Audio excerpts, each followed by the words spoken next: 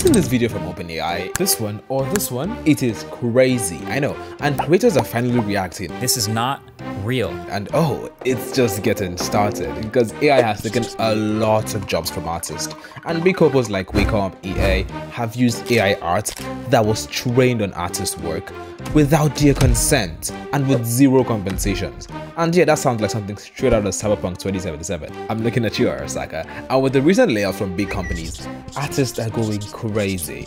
And this isn't one of those videos that glaze artists are completely dunked on AI, but it tells the story from an artist's perspective. And why no one cares about generative art? Because this is our inevitable future.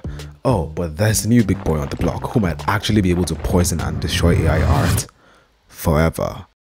DALL-E was released in around January 2021, way before other popular AI image gen tools. I made Journey in July, which is arguably the most popular AI gen tool, which uses Discord, the app for DGens, believe it or not, to generate prompts for the images for a small, small fee of 10 bucks, which makes this tech easily accessible to a lot of people including 10-year-old Twitter babies. And the story of modern AI image generation tools began in April 2022, which marked an insane shift in the AI scene. The inception of DALL-E in April, however, kickstarted a revolution in the AI-assisted image creation, which blew a lot of minds, as well as a lot of pockets due to the Nigerian princes. And this tool developed by OpenAI had the ability to generate unique complex visuals from simple textual prompts, further blurring the line between art and tech. But oh, alongside these developments, ChatGPT, the mastermind that kickstarted the AI decade of the 2020s, they took the models from a non-profit organization, this company, which has a database of over 5 billion images, which is like 15 United States or about 4 Africas. This organization was meant to use images from the internet for just research, so it wasn't much to worry about, right?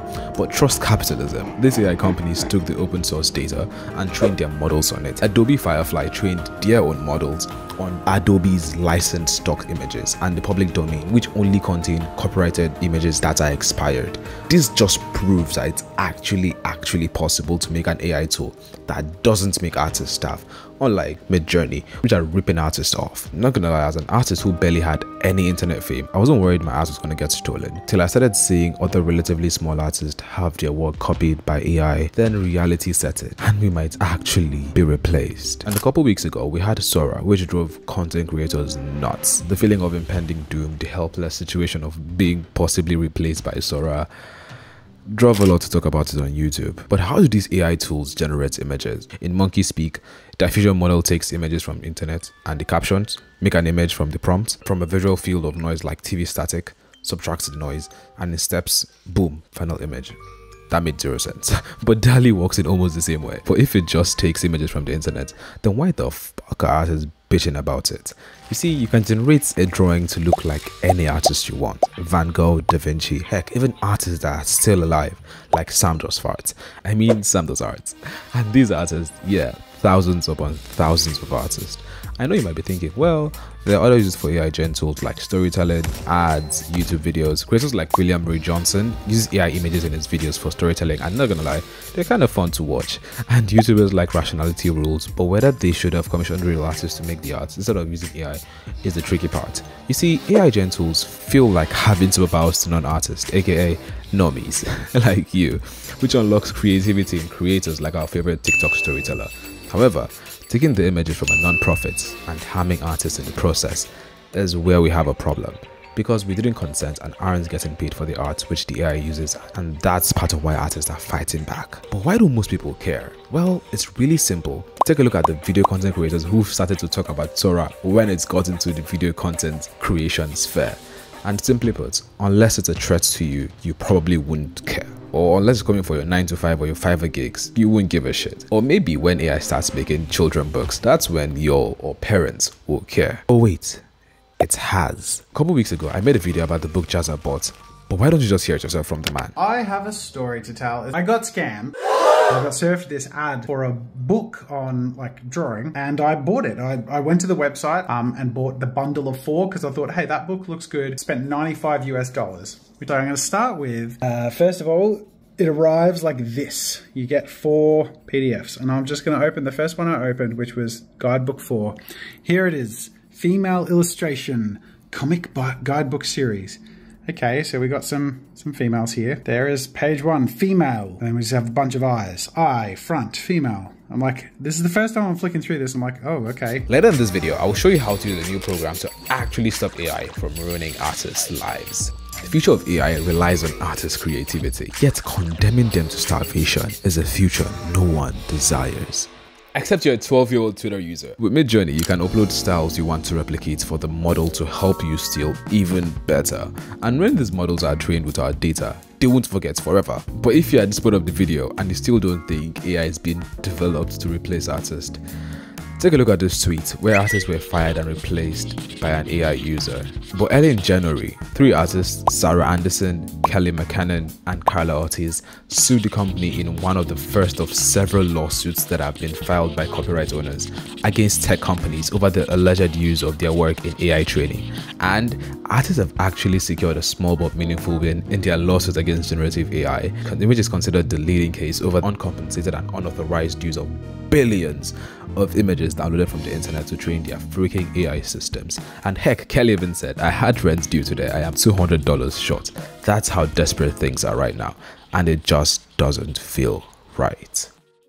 Going back to that tweet, AI users charged more money and now the company is trying to reconcile with real artists again. You might be thinking artists might finally win, but not so fast. With this new tool, we might be able to actually win the war against AI. Let me introduce you to Nightshade. Okay, this is how it works. For example, your eyes might see an image of Kai Cenat in Nigeria, largely unchanged, but an AI model might see an ugly ass leather purse lying in the grass. When this AI is trained on a sufficient number of shaded images that include Kai Cenat, this model will become increasingly convinced Kai Cenat looks brown, leathery, has handles, and has smooth side pockets with a zipper, and perhaps a lovely brand logo. But that's basically how it works. And with enough of these poisoned images, might actually be able to win by poisoning AI. But how about we test that for ourselves? If you're enjoying the video so far, make sure to subscribe and more importantly, drop a like so the YouTube AI algorithm recommends more of my videos to you. So now for the test phase. We'll be using three different drawings of mine with varying levels of complexity to see how the AI tool works and how much it distorts it. So start a simple piece like this one. So we'll just drag and drop, okay? Oh, we already tagged it with gun already.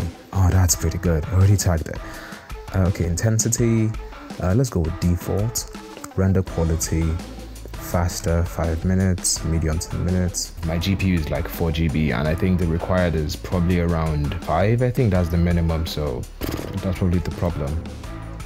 Okay, seems to be crafting. Says shade will take about 30 minutes, so I guess cue the elevator music. All three of them took about an hour and 30 minutes for everything, about 30 minutes each. Let's just go straight to the breakdown. Let's start with a simple piece. The first thing that stands out to me here is this simple artifact right here. That was the first thing that stood out to me. And the closer you look, the more they just seem to pop up. Like, yeah. I guess this is probably what's doing to confuse the AI algorithm. Uh, but the face looks okay. It's a little bit here. Uh, but yeah, if you compare that to the original, right, there's none of that.